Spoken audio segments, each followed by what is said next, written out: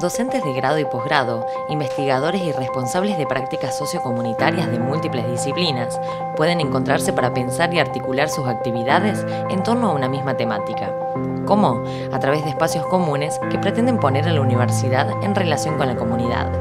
Conservación del medio ambiente y desarrollo sustentable, energía, materiales y nanotecnología, problemáticas educativas, procesos y tecnologías en sistemas agroalimentarios y las ciencias en la calidad de vida son las áreas problemáticas que movilizan esta iniciativa. Participando, es posible establecer vínculos académicos, optimizar recursos y unir esfuerzos sin perder autonomía como profesionales o equipos.